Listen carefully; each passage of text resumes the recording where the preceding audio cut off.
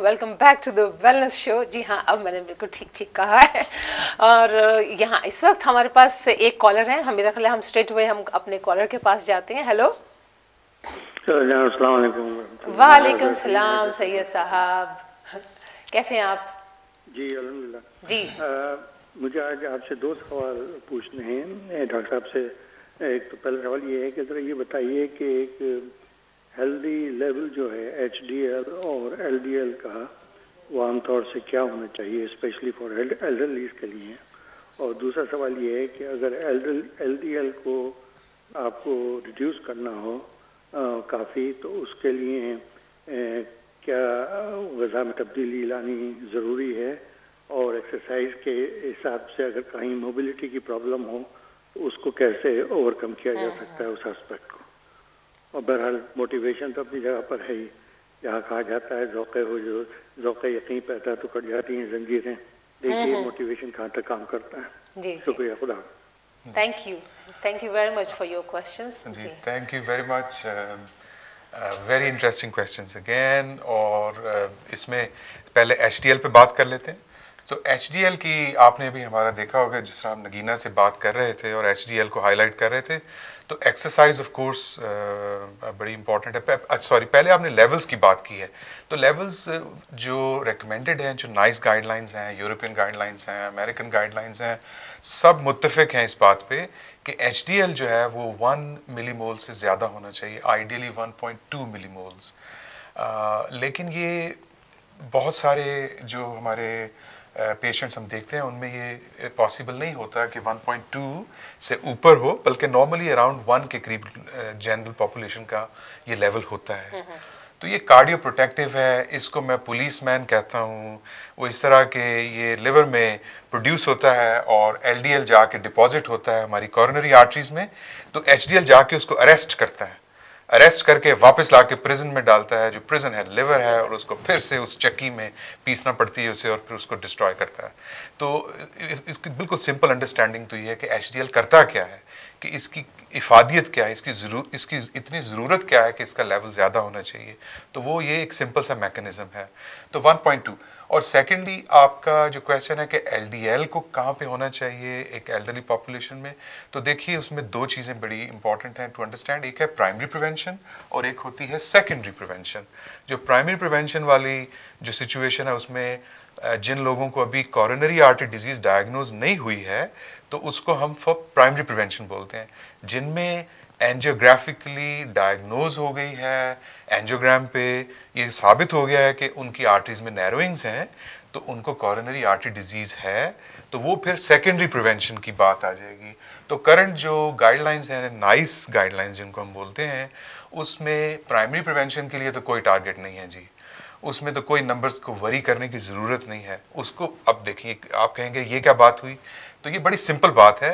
तो आजकल गाइडेंस ये है कि जो बेस लाइन आपके लेवल्स हैं, अगर आप उससे 30 परसेंट नीचे कर लें विद एक्सरसाइज विद डाइट और विद मेडिकेशन जो मोस्ट कॉमनली स्टैटिन होती हैं तो इसका मतलब ये है कि आपने रिस्क रिड्यूस कर दिया for coronary artery disease heart attack और स्ट्रोक और उससे प्रिवेंशन हो गई। जो सेकेंडरी प्रिवेंशन की बात है बात ज़रा लंबी हो गई है लेकिन ये बड़ी इंपॉर्टेंट बात है। उसमें हमारे टारगेट्स डेफिनेटली हैं।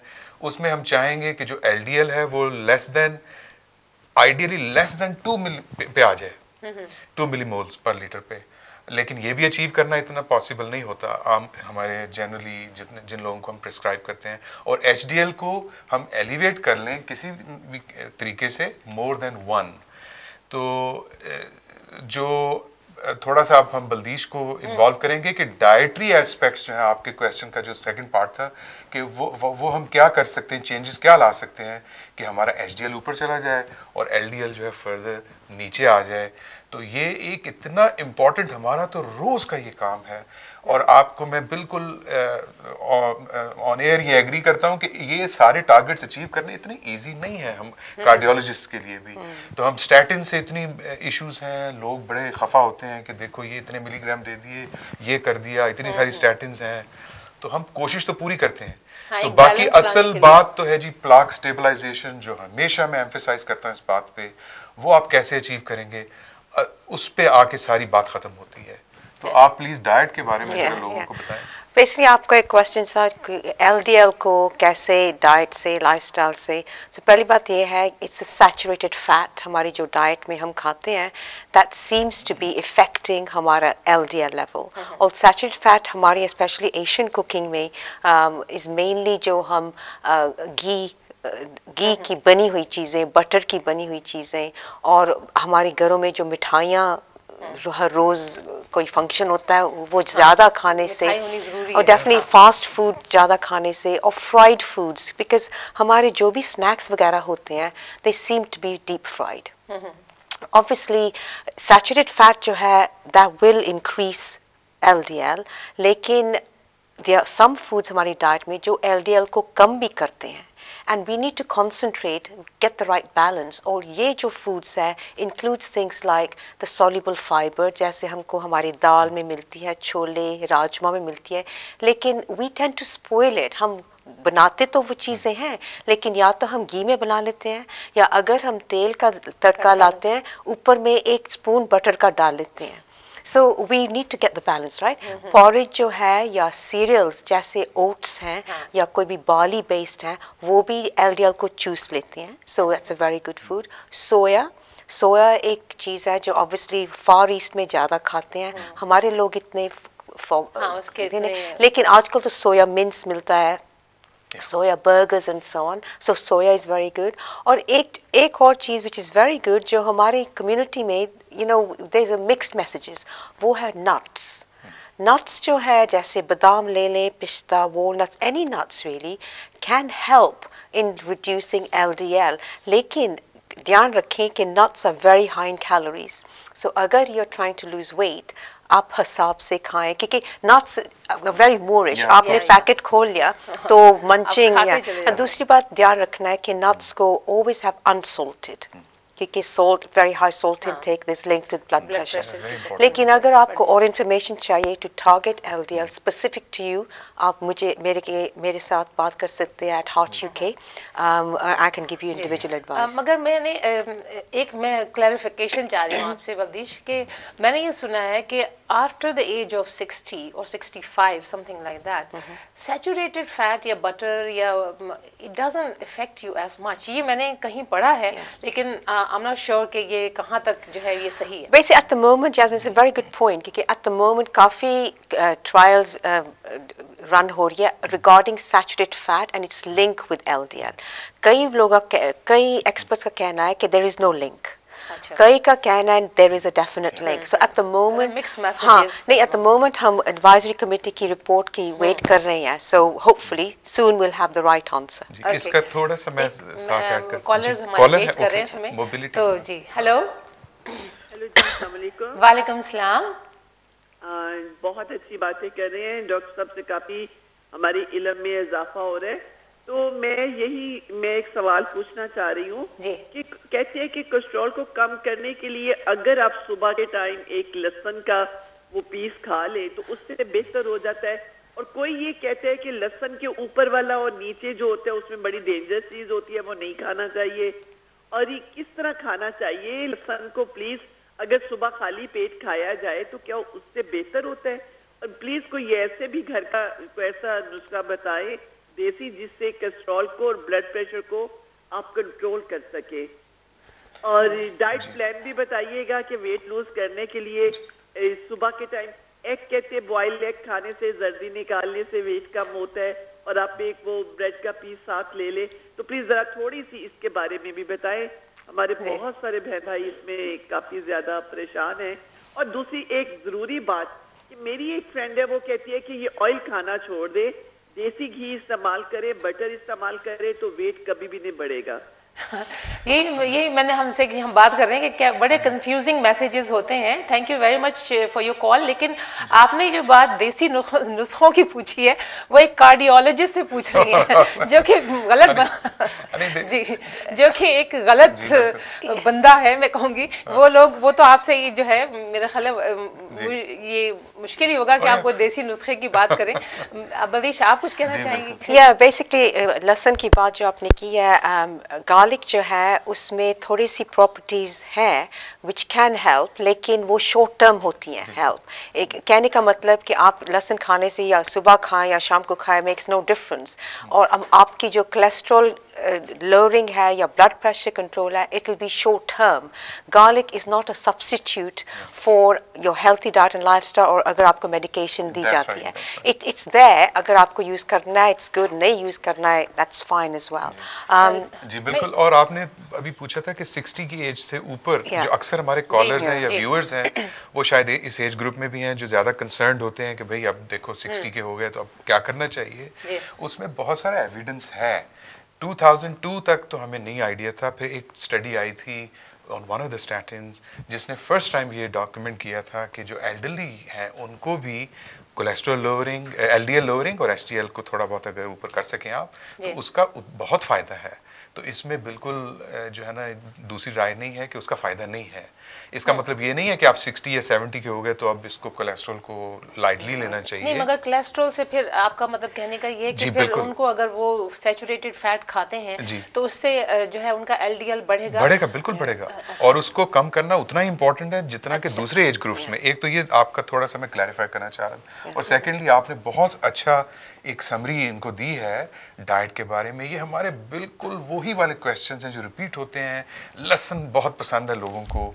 और ये अदरक बड़ा पसंद है और ये सारी चीज़ें इनको मिक्स करना इनका कुछ ना कुछ बनाना और फिर खाना। वो सुबह खाना है दोपहर को खाना है कि रात को खाना है। हम किसी चीज़ के एंटी नहीं हैं। जो आपका दिल करता करें। अगर किसी इंडिविजुअल तो का- no we'll हमें बिल्कुल उसमें देखें बिल्कुल उससे हम बिल्कुल इनकार नहीं करते हैं। लेकिन हम क्योंकि एविडेंस पे बात करेंगे ना तो एविडेंस ये लसन और इन चीज़ों पे इत, इतने बड़े बड़े ट्रायल्स नहीं किए हैं। वो सारा डाइट ओवरऑल जो हम मॉडिफाई करते हैं उसका बेनिफिट होता है। किसी एक चीज़ का नहीं होता। अच्छा। और मोबिलिटी बड़ी इंपॉर्टेंट है। अब वो एक्सरसाइज जी, है उनकी बात। अभी सही साहब की वो। रह गई है। जी। वो हम किसी अगले प्रोग्राम में ज़रूर क्योंकि अब टाइम इतना थोड़ा रह जाता है। तो मैं ये आपसे कहती थी कि जो आपने कहा ना कि लहसन की बात अगर कोई लहसन ले रहा है और अगर उसको नज़र आ रहा है कि कोई इससे। फ़ायदा है। तो do you think that you know that's a good enough prove that या it is working for for that person can I I say just say to happen what tends to happen? जो भी लोग take on board लसन हो या कोई भी और चीज़ें जी। psychologically they don't realize they're making other changes as well उनकी डाइट में क्योंकि सुबह वो लहसुन खा रहे हैं ले, लेकिन उनको कि शायद दोपहर को भी मैं थोड़ी सी चेंज करूँ diet so it's the overall change हमारी Yeah. डाइट में नॉट जस्ट द लहसुन या वन पर्टिकुलर न्यूट्रिएंट और अच्छा, एक छोटी सी एक बात ऐड कर दूँ मैं सॉरी।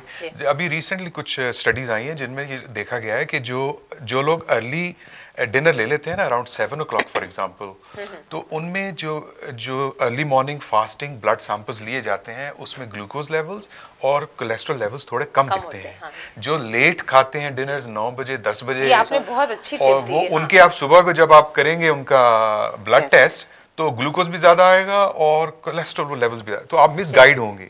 तो ये लाइफस्टाइल की जो बात हो रही है उसमें जो टाइमिंग्स ऑफ़ द मील्स हैं वो चेंज करना निहायत इंपॉर्टेंट है। सिर्फ़ लहसुन ही खाते नहीं रहना चाहिए बाकी बहुत कुछ करते बहुत सी चीज़ें बहुत से फैक्टर्स हैं जी। एक कॉल हमारे कॉलर हैं। हेलो हाँ हाँ जी हाँ जी। अस्सलाम वालेकुम डॉक्टर साहब एक बात मैं ये पूछना चाहती हूँ कि जो हमारे हेलो जी, जी। लोग थे दादा दादी नाना नानी ये तो इतनी मेडिसिन नहीं खाया करते थे उस वक्त कोई इतनी ज़्यादा मेडिसिन होती भी नहीं थी। और ये इन्हीं चीज़ों पे गुजारा करते थे, सौंफ खा लेनी, बच्चों की नज़र के लिए गाजर उनको दे देनी। और ये चीज़ें मेरी दादी सौ साल की थी, लेकिन उनकी नज़र इतनी तेज थी, वो खुद पढ़ाई करती थी। और ये ये ये अब क्यों इतनी मेडिसिन पे ज़ोर दिया जाता है और देसी दवाइयों से मना किया जाता है कि उससे कोई फ़ायदा नहीं होता? मैं मेरे तजर्बे में ये है कि जितना अपने इन बड़ों की टोटकों से फ़ायदा होता है ना उतना मेडिसिन सब मेडिसिन पे लिखा होता है साइड इफ़ेक्ट साइड इफ़ेक्ट एक चीज़ को हम ठीक करते हैं दूसरी की तरफ़ चले जाते हैं। ठीक है वॉक करें एक्सरसाइज करें जिम जाएँ लेकिन प्लीज़ मेडिसिन कम से कम इस्तेमाल करना सेहत के लिए बहुत बेहतर होता है।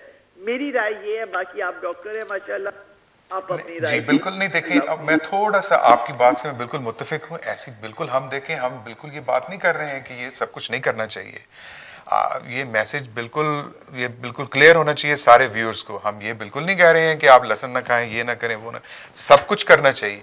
जिस बात को पे हम एम्फिसाइज कर रहे हैं वो ये है कि पूरा ओवरऑल लाइफ में चेंज लानी चाहिए। अब स्ट्रेस लेवल ज़्यादा है अब इंटरनेट है अब इतना मीडिया है जगह जगह आपको न्यूज़ मिलती हैं। और वो दा, हमारे दादा और नानी और उस ज़माने में ये सारी स्ट्रेस कहाँ थी बताइए आप मुझे? फैमिली सिस्टम था सपोर्ट सिस्टम थी सब खुश रहते थे। अब हर एक बंदा अपनी अपनी जो ज़िंदगी है वो गुजार रहा है और उसको तो पता ही नहीं चलता साल कैसे गुजर जाता है।